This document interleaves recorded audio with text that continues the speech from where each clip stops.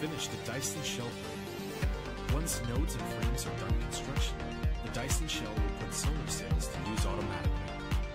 Each solar sail will provide one cell point, and you can click the shell to view the total number of cell points required.